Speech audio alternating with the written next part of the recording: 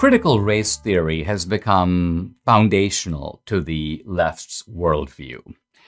And um, it is a term surrounded by a lot of buzzwords. Buzzwords like systemic uh, racism, uh, buzzwords like white privilege, white fragility.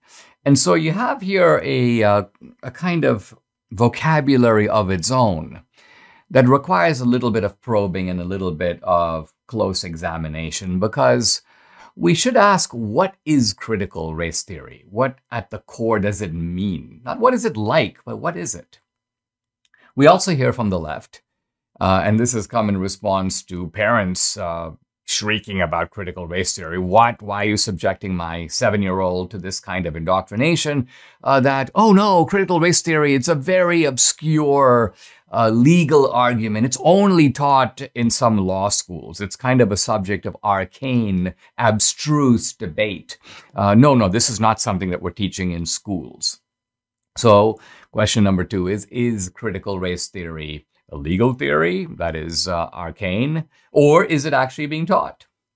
And finally, um, what is really wrong with the approach? Because sometimes when you're confronted, the, in fact, the people who initially deny that critical race theory is being taught sometimes break down and go, well, it is being taught, but hey, what's wrong with teaching about slavery? What's wrong with teaching about the Civil War? What's wrong about teaching about uh, Rosa Parks and anti-discrimination? You got a problem with that? So the fallback is, yes, we're teaching it and it's a good thing. So it's worth asking, what is wrong? Why is it indoctrination to be teaching critical race theory? So I want to briefly um, stab, take a stab at answering these questions. Now, first of all, critical race theory is the simple notion that uh, all groups, uh, and we're talking here about racial groups, uh, ethnic groups, are expected on all measures of academic achievement and economic performance to fare equally.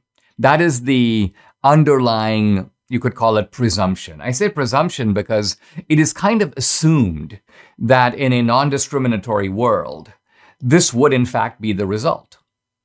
And um, obviously, groups don't differ in natural or genetic uh, capacity.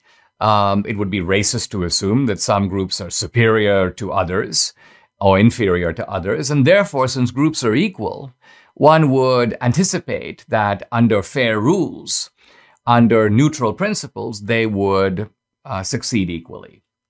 But when you look at the finish line, both in the uh, measures of academic achievement, standardized tests are a perfect example of this, or any measure of economic performance, you notice that groups don't, in fact, hit the finishing tape at the same time, and therefore reasoning backward. Critical race theory holds that these groups don't have, well, they don't like to use the term equality anymore because equality could mean either equality of opportunity or rights, or it could mean equality of results. And the left is always inclined toward equality of results. And so, in order to sort of bake that term into their ideology, they now use the term equity. Equity means equality of result. And so the left is basically saying that if groups don't succeed equally, it must be because there is baked in racism. Racism that is somehow, if not visible and apparent, it's in the system. That's where we get the idea of systemic racism. And since racism is now somehow institutionalized, it's uh, it's kind of uh, part of the rules, it's part of the culture.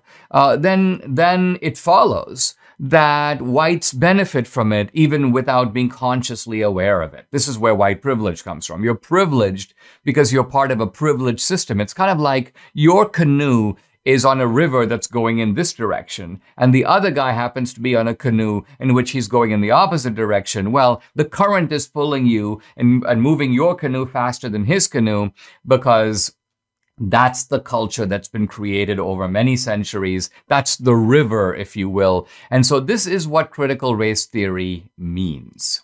Now, uh, is it being taught? Is it a legal theory? Uh, or is it in fact being taught in schools? And the simple answer to that, and it's kind of silly that this is even being debated, is it's obviously both. Um, something can be a legal theory and taught in a sophisticated way in a, in a law school or uh, let's just say in a senior seminar in college. And the same theory can be th- taught in a more elementary way in high school, and then in, in the most elementary way of all, in middle schools and elementary schools. Uh, I mean, if you take the stories of Shakespeare, let's take, for example, Romeo and Juliet, you could have a graduate level seminar on Romeo and Juliet. You could also discuss the play uh, as an uh, as a freshman in college uh, it's often assigned in high school. And, and if you take the story at its bare bones, you could tell a 10 year old about Romeo and Juliet. You can tell the story in a sort of Disney ish way, uh, and you would pretty much be able to find an audience at whatever level you do it. And the same is true with critical race theory. No one is claiming that Kimberlé Crenshaw's legal law review article that first talked about intersectionality and had this kind of arsenal of terms is assigned to 12 year olds in school. No one's saying that. But what we are saying is that you, that those doctrines are then, you could almost call it crayonized so that they can be taught really even to seven year olds or six year olds uh, in a kind of diluted but no less um, doctrinaire way. Now, I think what's wrong with this whole approach is this it's kind of like um, blaming the thermometer for the fact that the patient has a fever. Imagine you take a thermometer and you have groups, let's just say group A, group B, group C, and you have them all kind of use the thermometer and then you take their temperature. You realize that by and large, there's some guys in group A who have a fever. Now, they can say, wait a minute, we expected the thermometer would produce equal results among all the groups, and therefore the thermometer's biased. Let's throw the thermometer down. Let's stomp on it. This is critical race theory. You're blaming, if you will, the mechanism, the mechanism often of measuring achievement and it's a false diagnosis because it's turning you away from the real problem. Now, when I when I pointed this out on social media, someone goes, "What's the real problem, Dinesh?" Uh, almost implying like I was I was um, concealing a racist presupposition. Are you are you really saying that groups differ in inherent ability?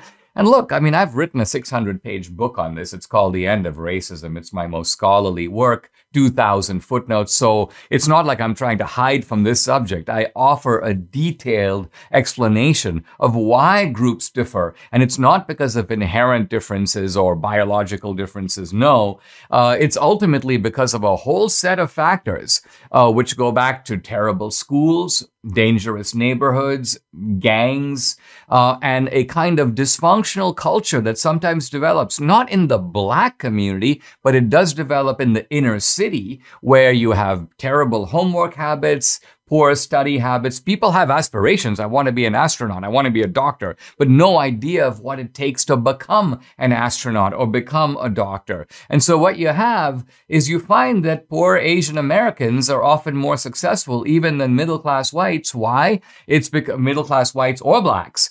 Uh, and part of the reason for that is because they have intact families, they have homework habits. And so it is these cultural attributes of success that are the reason why some groups are doing better, even when you correct for socioeconomic differences. Some people think that this is all a matter of, of rich and poor, and that if you somehow uh, level for socioeconomic differences, all these racial differences will go away. No, they don't.